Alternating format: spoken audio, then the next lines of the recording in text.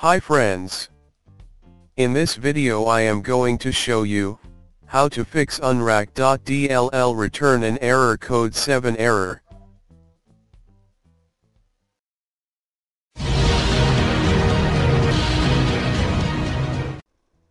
In order to fix this issue, take a good copy of unarc.dll file from another computer.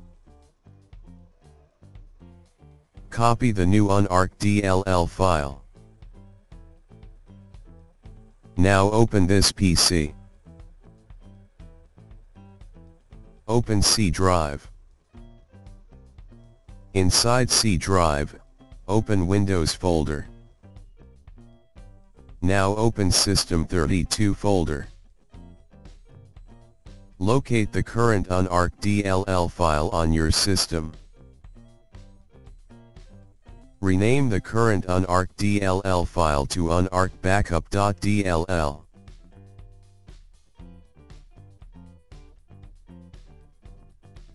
In case if your Windows is 64-bit version and also the DLL file which you had copied, is 64-bit. Then you can paste DLL file in this folder only. Similarly open syswow64 folder.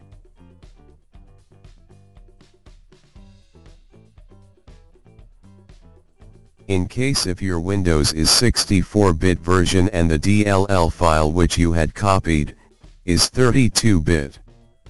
Then you can paste DLL file in this folder only. Type command prompt in the search bar. Right click on command prompt. Select run as administrator.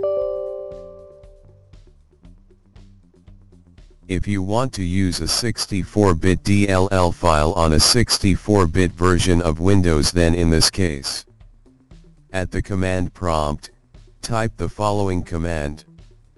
regsvr32% system root percent backslash system 32 backslash unarc dll, press enter key. If you want to use a 32-bit DLL file on a 64-bit version of Windows then in this case, at the command prompt, type the following command. regsvr32% system root percent backslash syswow 64 backslash unarc dll. Press enter key.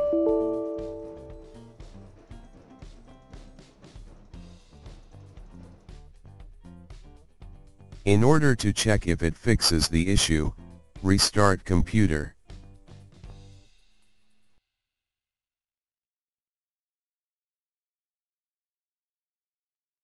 Please subscribe, share, and like this channel.